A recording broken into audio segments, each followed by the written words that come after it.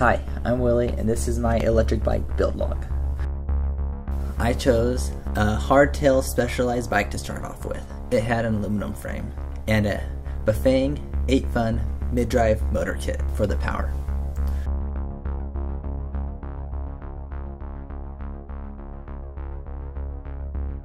And here it is in action. You can see the mid-drive motor by the crankshaft and the batteries are in the gray panel. The parts came in two boxes. The battery and some miscellaneous parts in the first box, the charger and the motor in the second box. The bike uses special brakes so that it knows when you're braking. And it has an optional thumb throttle so you can gas it like a mountain bike. I chose not to use the thumb throttle. The plan is to fit the batteries inside the frame. And the problem is that the frame's only an inch wide and the batteries are going to be three inches wide. So I'm building some wood panels to screw onto the frame to make it wider.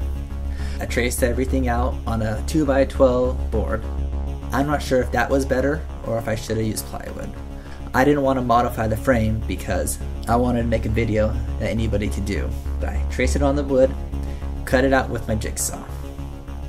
I chose to use the bike with a small frame because I wanted the bike to have a smaller profile. Having a bike with a big triangle covered in plastic would look obvious and heavy when it was done. I wanted it to look light and slim. The wood was pretty easy to cut out.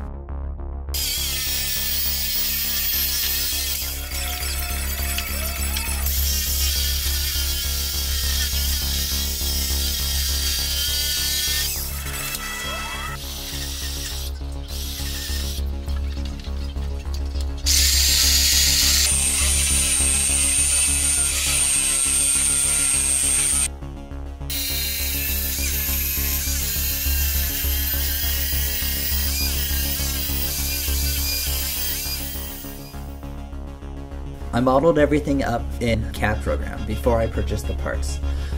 I wanted to make sure that I picked a battery that would fit inside the triangle, but I didn't know how the cells were oriented in the battery. I looked out and the battery fit pretty well. I used the CAD model to know how everything would look. When the battery finally arrived, I cut open the casing and had to resolder it the batteries actually look pretty clean. The battery I chose was a 50 volt, 9.5 hour lithium ion battery. Now, I chose a lithium ion battery so it would be smaller, but the lithium ion batteries are much more complicated to work with. The battery had 50 cells in it, and they were in banks of 5.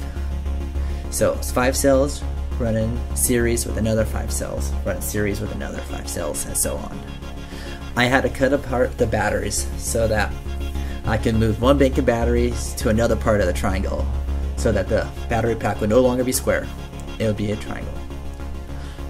I found the best way to cut apart the battery was to use the Dremel, cut the metal plates, and then use fishing line to cut between the batteries to get the silicone out. The silicone was really easy to cut with fishing line.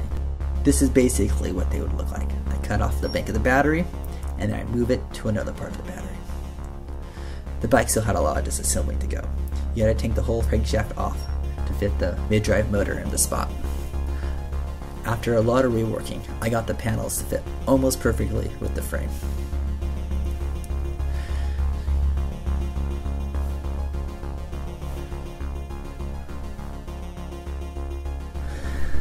Here I am finishing up the battery pack. It took me all day to finish the pack. But when it was done, it was worth it.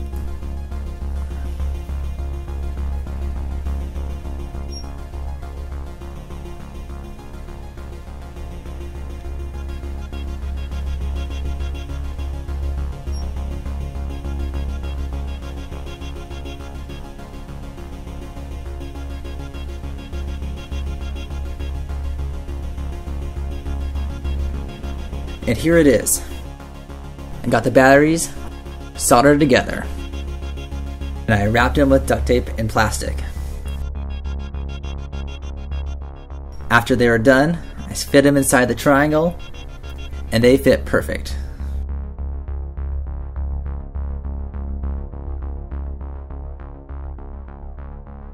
Test fit with the batteries, test fit with the panels, resanding the panels, painting the panels, cutting out the polystyrene, and the bike was almost ready to go.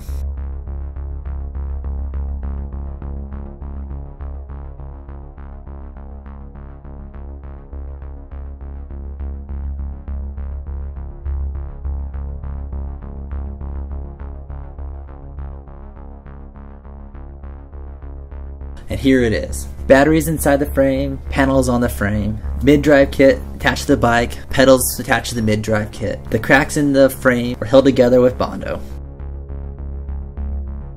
More sanding for me, but when it was done, it looked really clean.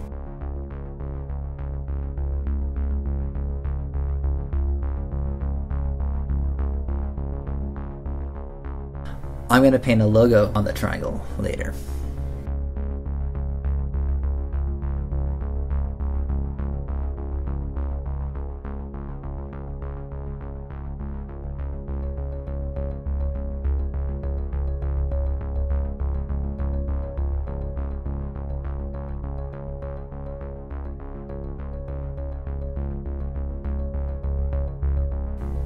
And off with the tape and the bike's about done.